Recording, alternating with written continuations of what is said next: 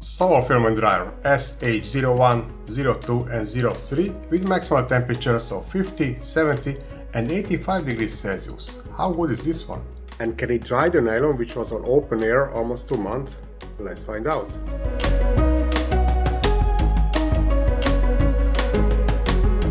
Welcome to my Tech Fun.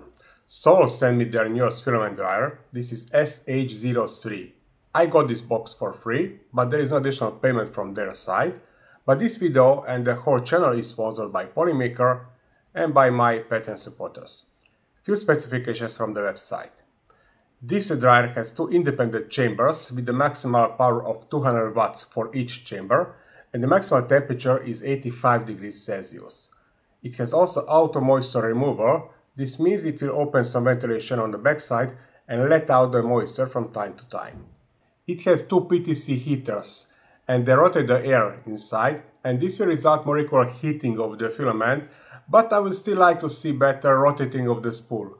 I just like to mention in every filament drying video, maybe the companies will start to integrate this possibility too. Very shortly, why do we need a filament dryer? Well, every filament will absorb moisture from the air, and some filaments are more sensitive to this. Now, those 70 degrees Celsius dries are far enough for almost everything, only nylon, PPA, PPS and similar filaments requires these high temperatures. On 85 degrees Celsius, we can dry them much faster.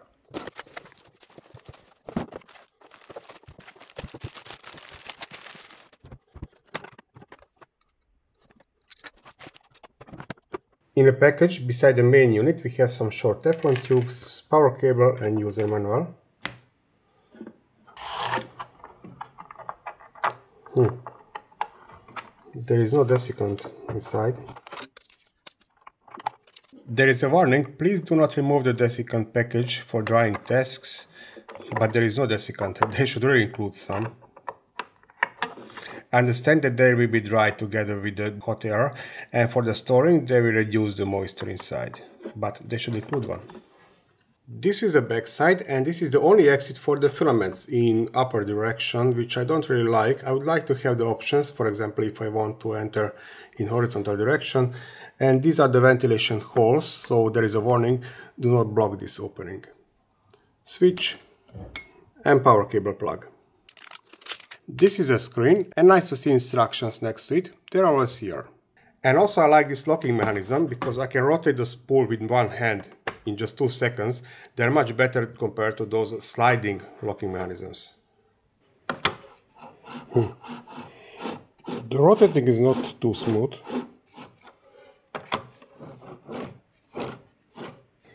And I think I found what is the problem. Look at this distance between rollers. More than 18 centimeters, almost 19. And when we place a spool, it is very deep inside and push quite big forces. And that's why it is not rolling easily. Look how smooth are the bearings. But because of the distance, when I insert the spool, the friction is much bigger.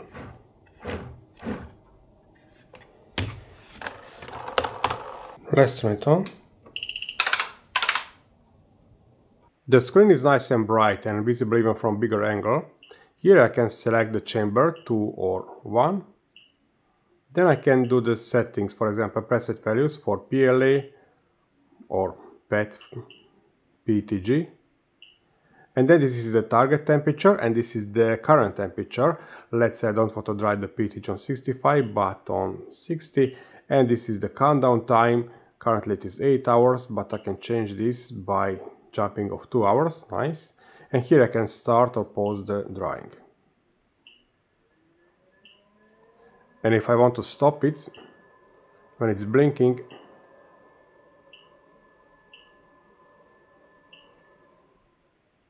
That's it. It's time for my sponge drying test and this will be its position somewhere in the center of the spool, of course after I add 2 milliliters of water to it. And this is the input of the hot air, this is the exit for the moisture, and I'll try to place the sensor approximately somewhere here. Unfortunately these holes are big enough only for one wire, but for this sensor I have three, so unfortunately I cannot use these holes So it will be tested in this position and the sensor will be very close to the input hot air. But there will be some small gap here. The data is collected by Arduino Uno and uh, my laptop, but the current temperature and relative humidity I can see on the screen too. And currently the relative humidity is very low, only 26% in this room. Yes, on winter this is typical. Mm, I usually do this test on 45 percentage, but what can I do? We will see anyway the temperatures. Empty sponge weight 0.562 2.613, a little bit more, but it will be fine.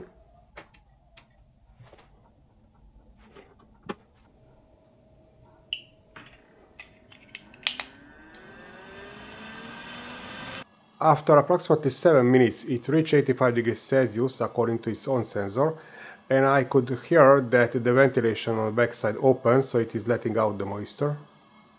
But according to my sensor the temperature inside is 67 degrees Celsius and 11% relative humidity.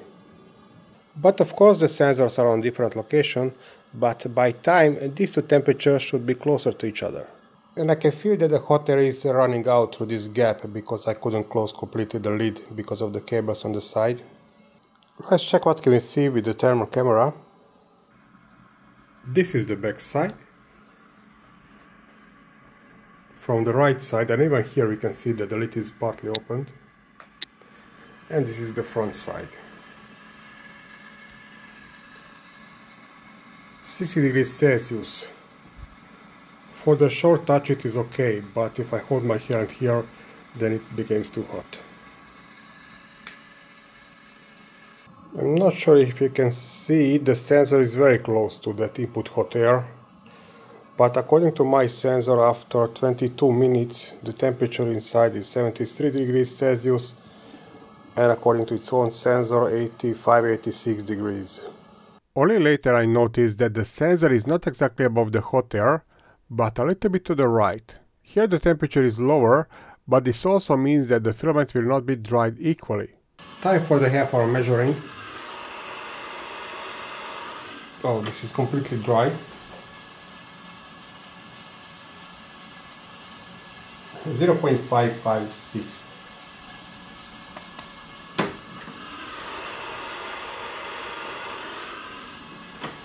But I'm collecting the temperature, so I continue this half more hours.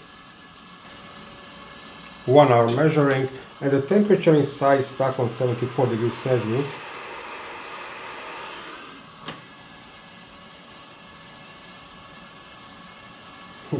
Zero point five two eight. Drier than before, because it had some moisture. Turning off and I will collect some cooling data. Usually these PTC heaters don't turn off immediately to cool down the electronics inside, but this one does. Let's analyze the result. On x-axis we can see the time in minutes. On y-axis we can see the temperature and relative humidity. 30 minute measuring and 1 hour measuring. Let's analyze the temperature first. It reached those maximal 74 degrees Celsius quite fast, now the problem is that it was set to 85 degrees Celsius. And yes, the lid was minimally open, but the gap was extremely small and actually the sensor was placed above the input hot air. So I think this is quite big difference. About relative humidity, uh, here we can see a small break and here I mentioned that the steam hole was open and we can clearly see that it works really nice. And then it reduced the relative humidity, so this part works nice, but I'm not too happy with this temperature. About the sponge drying test, it slowly became useless at these temperatures because even after 30 minutes it was completely dried. Well actually I have a sensor which can fit to this hole. But this is only a temperature sensor, no relative humidity. It will be just 10 millimeters above that input hot air and I can completely close the lid set to 85 degrees Celsius and the temperature immediately started with the rising, but I wait half hours because by that the temperature should stabilize. But this time it is interesting to see that these two sensors are showing very similar temperatures. Actually I don't have to wait half hours. After 10 minutes the temperature inside is already 84-85 degrees Celsius according to its own sensor and according to mine it oscillates between 80 and 84 degrees. Let's try something. Easy PA nylon from Sunlu and actually I forgot about it a little bit so it was in that corner on open air almost two months now. One quick method to check if the filament is wet is to extrude the filament and when it stops with extruding, cut the extruded line and follow the oozing. If it is big, it needs drying. But also you can just listen to this popping sound. Just two parts for the measuring. If you don't understand this part, just check my previous video, I explain it detailedly there. But uh, I hope you can see the stringing and you understand that it's a problem. I'm wondering, are there any applications where you can use this property? this should be 20 millimeters, 20.33 and this is 100 millimeter long 99.47 now let's do the calculation the calculation is explained in my previous video so these are the design lengths and these are the measured lengths and this is the equation for the S. This is the scale factor. In this case, the shrinking is approximately 1.1%, but this is more important, this constant offset. This is the equation for it, and this is huge number, 0.545 millimeters. This is huge. If the filament is dry, this should be much closer to the zero. And now let's try to dry it, but I measure it too. 991.35 grams and it looks like in the center it dries better because there are the holes so I place the spool in the center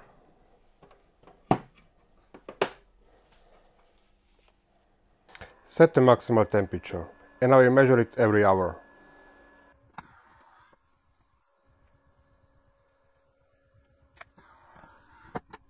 In the meantime I'm measuring the noise from half meter distance Approximately 33 decibels, that's quiet, with one chamber heating. This is the last measuring. It's quite late, I want to go to sleep, but first I have to print with this filament and later I will analyze the data. Even now I can see much better surface quality and this time no stringing at all. Before the measuring just look at this difference in the print quality. and now let's measure them 19.91 millimeters and the bigger one 99.40 let's do the calculation. And the calculation there is a small minimal change on the scale factor too but this C is more important. And look how small is this number now 0.04 millimeters approximately. So this is a great example how drying affects to this constant offset.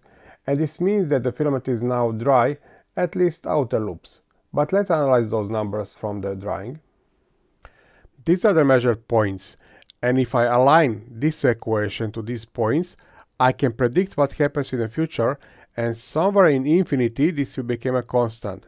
This is this d value a perfectly dry filament theoretically, and from this I can calculate the moisture, and the start moisture was 2.56%. And when I stopped the drying and started printing, the moisture was 1.6% approximately, but it is important to understand that this is average moisture, and I'm quite sure that outer loops are much drier compared to those inside. That's why with the nylon it is very important to continue the printing from the filament dryer. I'll explain this method later soon because I created this tool on my website which will do this calculation for us, but it will be explained in a separate video. Overall, I like the dryer. 85 degrees Celsius of the hot air, it is accurate and it is relatively quiet. Also, I can rotate the spool with my hand only in 2 seconds. Only two things I don't like here. I think distance between rollers should be a little bit smaller and also I don't like that uh, maximal hot air we will get only in the center. So if I will dry only one spool in the chamber, I will place it in the middle and it will be fine. But uh, if I want to dry two spools at a time, in that case the inner part will be dried better compared to the outer. And also I have a question for you. Was this review too complex? Maybe I should just do some printings, dry the filament and show the results after and it will be much simpler. Anyway, thank you for watching this video until the end and happy drying and printing.